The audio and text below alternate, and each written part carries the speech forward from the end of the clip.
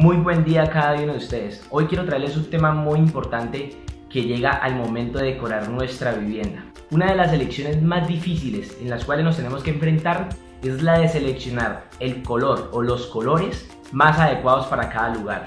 Ahora bien, si además de pensar en la estética de tu lugar, quieres también estimular tus sentidos, nada mejor que pintar tu casa según la psicología del color. Esta es una técnica que usan mucho los decoradores, diseñadores y arquitectos. Vamos a ver.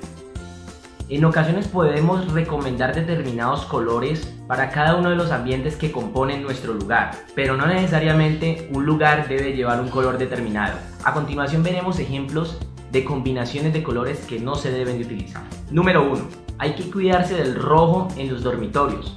Número 2. Tonalidades oscuras o cálidas en espacios pequeños. Número 3. No combinar una tonalidad neutra como el blanco con colores brillantes. Al pintar tu casa es recomendable utilizar un color principal y pinta una pared de un color distinto en cada uno de tus ambientes. A continuación vamos a ver los colores que se deben de utilizar con base a la psicología del color en cada lugar de nuestra vivienda. Presta atención. Habitación principal. Son recomendados los colores derivados del naranja, como el color durazno o salmón, pues generan una sensación de fraternidad y unidad. Además están vinculados con el trabajo en equipo. Los tonos rosas también son adecuados para este lugar, por sus efectos relajantes y su asociación con el romance, amor y afecto. Habitación para niños. Las gamas azules son propicias, presentes en muchos elementos naturales. Estimulan la reflexión y la relajación y ayudan a calmar a los más pequeños. Los verdes también son una buena elección invocando al crecimiento, naturaleza y expansión. Estos tonos son ideales para favorecer la creatividad de nuestros niños. Habitación de adolescentes.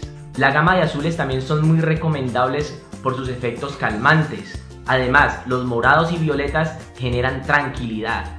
Sala o living. Son recomendados los colores cálidos, que hagan sentir a tus invitados como en su propio hogar. Los tonos provenientes del amarillo, sin ser muy fuertes, pueden favorecer.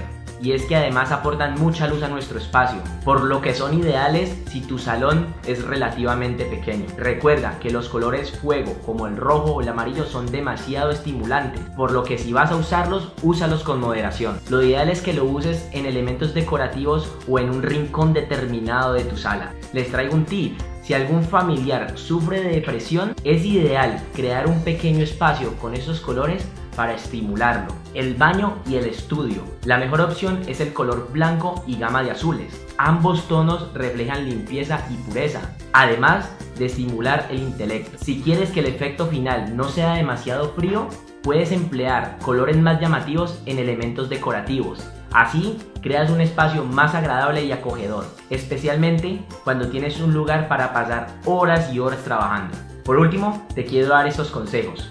Si tu casa es oscura, utiliza colores claros para ganar amplitud e iluminación. Finalmente, los tonos que elijas deben de hacerte sentir cómodo en tu espacio. Esa es la idea, que disfrutes cómodamente tu vivienda. Recuerda, si te gustó este video, compártelo y dale like y suscríbete a mi canal. Voy a estar subiendo videos supremamente interesantes de uso diario, lo que la arquitectura no cuenta. Bendiciones.